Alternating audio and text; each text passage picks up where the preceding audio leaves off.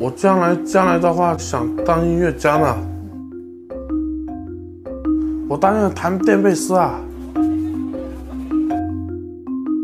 大家好，我叫韦一泽，我都去过加拿大、美国、法国，去迪拜、去卡塔尔，去澳大利亚和新西兰表演了。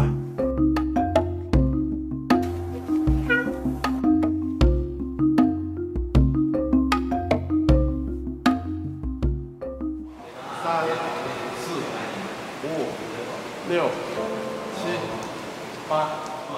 在两岁半以前，他是一点语言都没有的，是诊断为中中度自闭症。那个时候真的是感觉到很很绝望。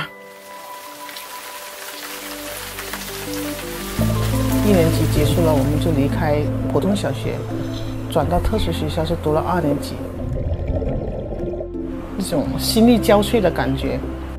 不过后来慢慢的就也走出来了，觉得孩子这种情况一定是要靠家长，靠家长去从悬崖的边上给他拉回正常人群来。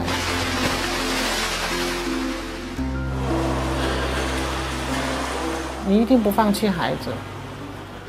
一个孩子，一个人，他将来要在这个社会里面生存的，而不是在父母的庇护下，不是在特殊机构的庇护下去成长、去生存的。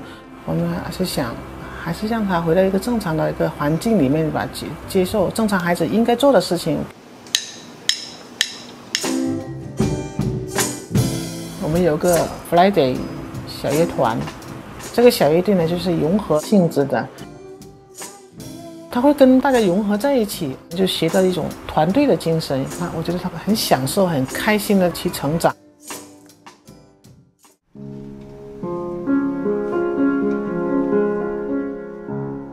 音乐艺术就是他的生命。十一岁的时候让他学了钢琴，改头换面的感觉了。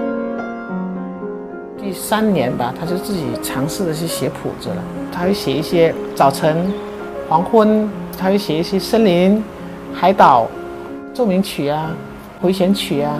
他有想法了，这个就是艺术带给他一个非常大的一个改变。